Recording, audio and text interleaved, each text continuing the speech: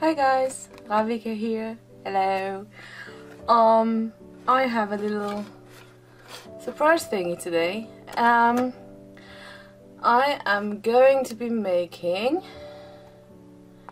a uh, mini travel watercolor set. I've been wanting to make this for um, quite a while and was looking around for tin boxes and stuff and then I actually realized I had it I had this tin box at home. Uh, it's been scratched up banged up stained had a life already so it's perfect.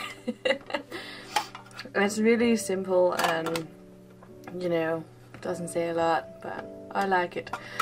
So I also had some half pans, empty half pans from when I made my big watercolor set. I had some leftovers. And then for Christmas I bought this um, watercolor pen that I uh, introduced in my little haul video and it's the perfect size it fits right in there. And naturally you save it without water when you travel around so you need to have water with you or access to water or something to, to use it but you know seeing how small it is that's a sacrifice I can live with. So today I'm going to make this little watercolor palette. Um, and actually it's not going to be finished today because the colors need to dry. so I have the tin box, going to put it over here, have the watercolor brush over there, I have the empty half pans and then I have my watercolors and these are the Van Gogh watercolors um, it's pretty. It's a pretty cheap brand, student quality. Uh, but it's the ones that I use for my watercolor paintings right now and I really like them and I have learned a lot for them. So if you're new to watercolors and you want some cheap colors that are pretty good quality still, I highly recommend these because they're very affordable. Um, so you won't, you know, kill yourself if you end up not doing watercolors that much. I am now invested fully into watercolors and looking into um, getting some new ones eventually when I can afford it. Um, hopefully this year.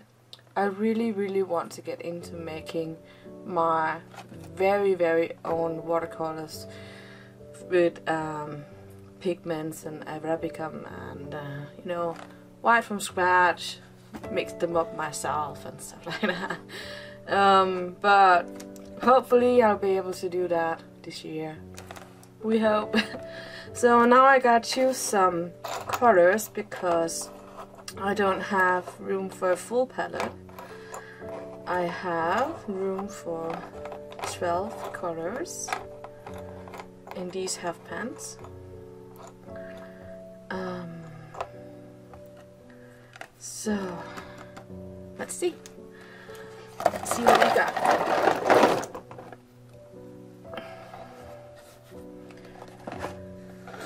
Whew. So, how is everyone? Another little random here. Okay, so I'm thinking that I definitely want Payne's gray. I love Payne's gray. Um, and I'm thinking that I want an earthy theme for this watercolor set. Something that is easy to use for pretty much everything. So some base colors and some earth colors.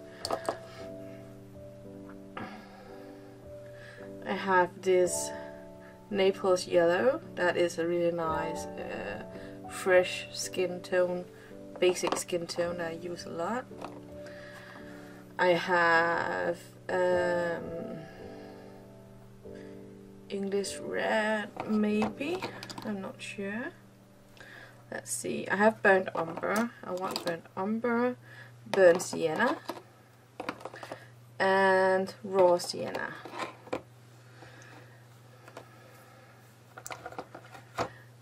And let's see, I'm gonna put them up here. Those are the chosen ones that I know I want.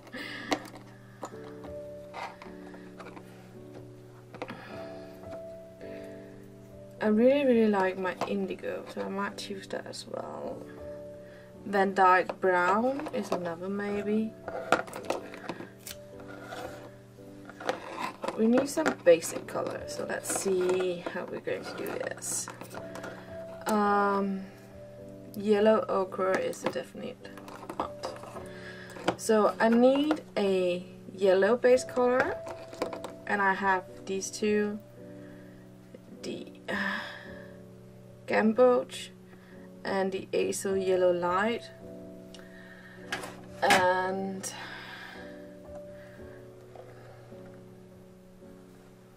I kind of want both because this is really nice as well. this is going to be so tricky. So then we need, this was a maybe, and this was a maybe. We need we don't necessarily need a green, so we'll see about that.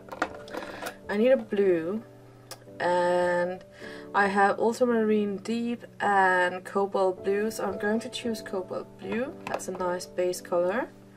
Use it for sky and mix it up for some earth tones as well.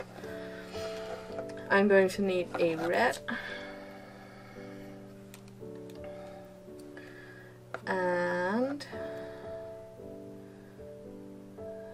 I think I'm going to choose a permanent red.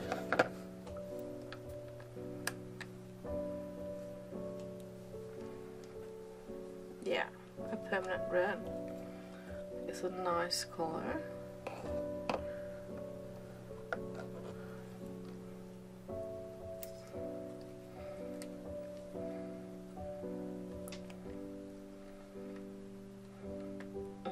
Trying to open one of these is a little bit difficult. Um, I really like this color as well. I don't need orange because I pretty much already have that. I can easily mix that so I don't need raw orange. The only thing that this is a really nice earthy tone still if I need some freshness. So I don't know. Purple, don't need that. These two don't really need those either. Uh, let's see, we got six up here, so I need to find six other colors. I think I'm going to choose that yellow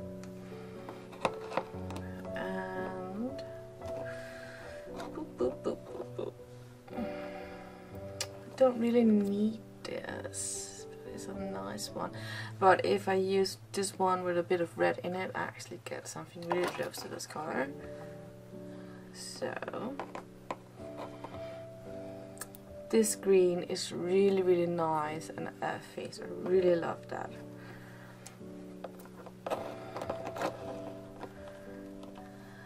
And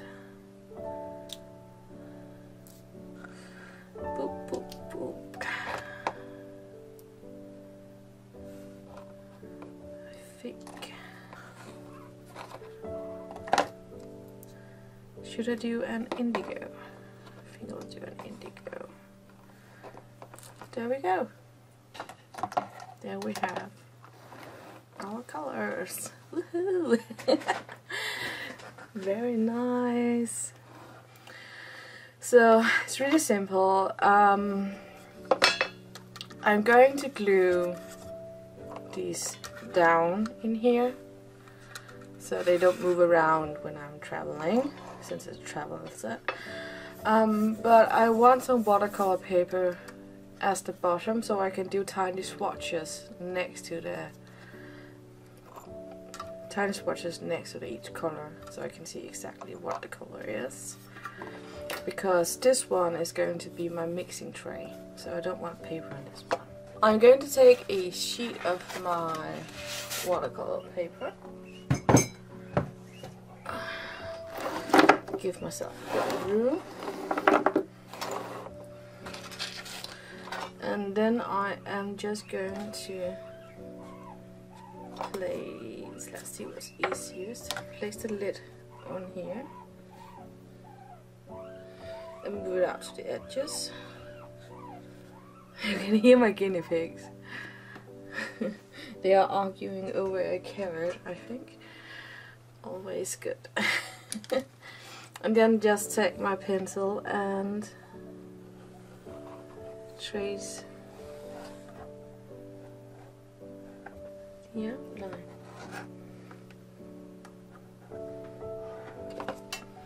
There we go. Then we are going to cut that.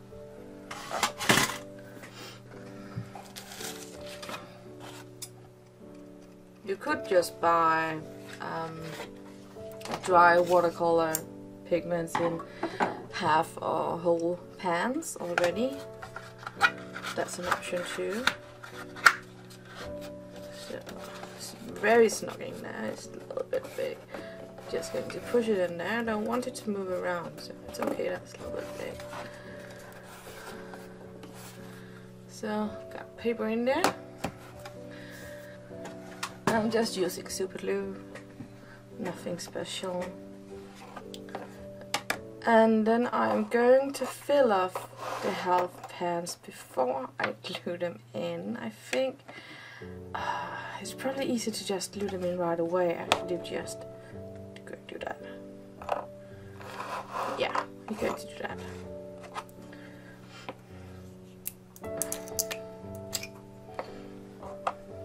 Don't want to move them around when they are wet. Now, if you do a metal pan thingy, you can actually settle them all with magnets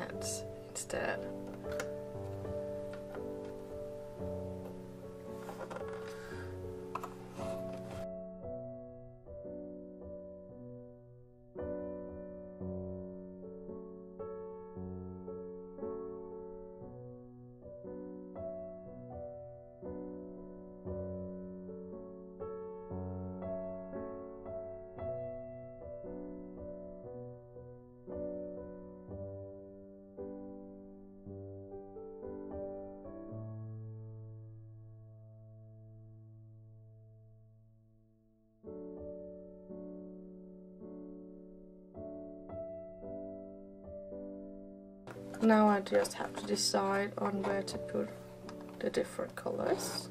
I think I'm going to keep it like that, something like that. Five, six.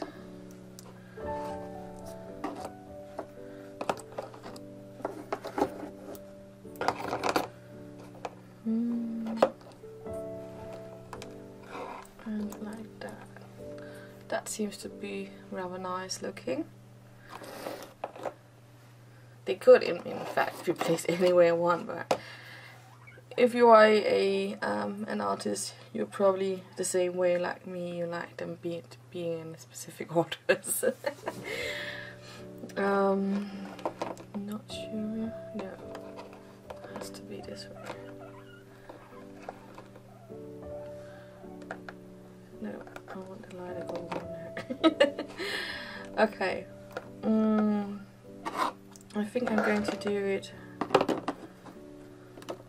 like this. Yeah, that's better. So, now I'm just going to fill in the colors in each half pan and see if I can open all of these.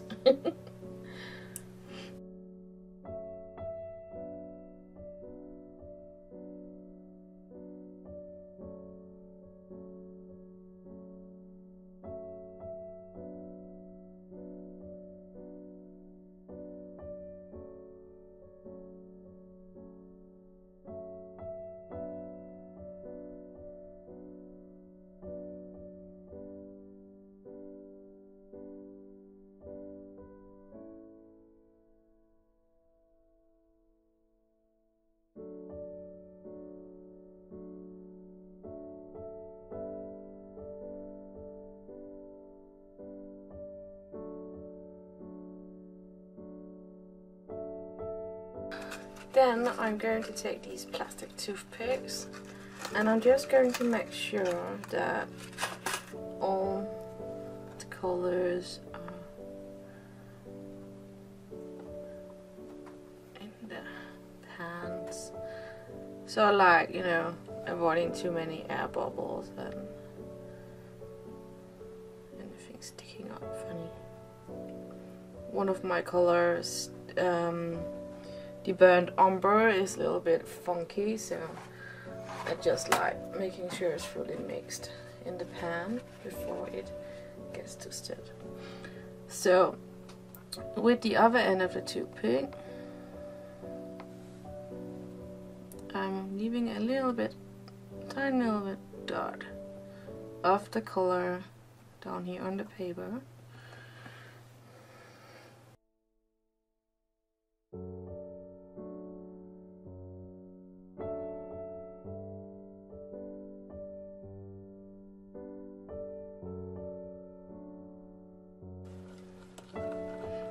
This color has such a weird consistency until I mix it up. So I'm not sure if there is a, I don't know, if it's very old or what's up with that. If I mix it up, there's no issues and it gets all smooth and nice like the other colors. So.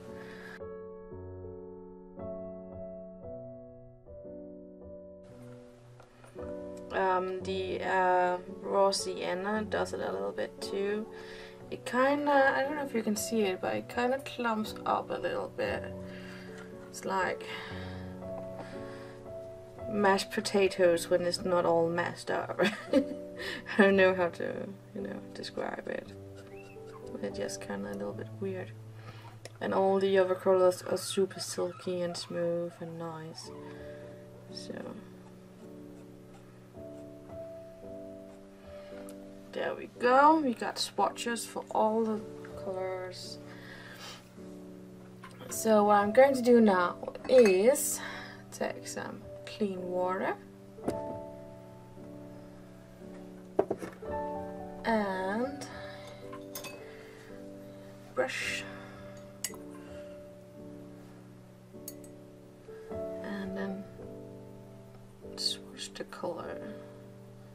just let the color flow out and show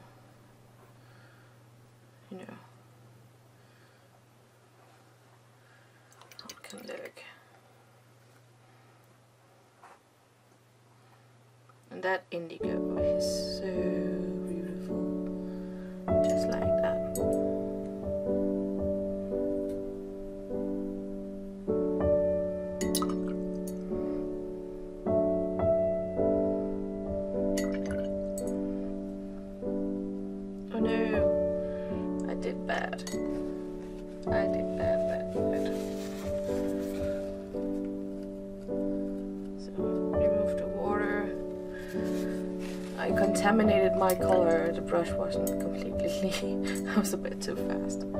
So, there we go.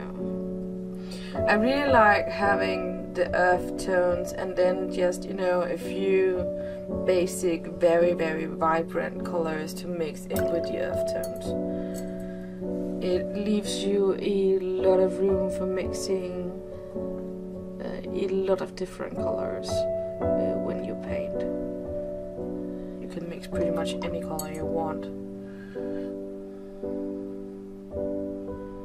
I like to use the Payne's Grey instead of black. A lot, I don't, I, I barely ever use pure black paint uh, in any of my pieces. I use, um, if I do line art, I can use pure black, but when we're talking shading, painting, I do not like pure black. It's just a dead color. Same with pure white. Um, for watercolors, you tend to use the white of the paper. I like that white because it's a textured. It's never completely pure acid white. So the Payne's Grey is beautiful for shading together with the indigo and the um, burnt umber that makes some awesome dark shading tones. So here we go. Let me zoom in for you guys.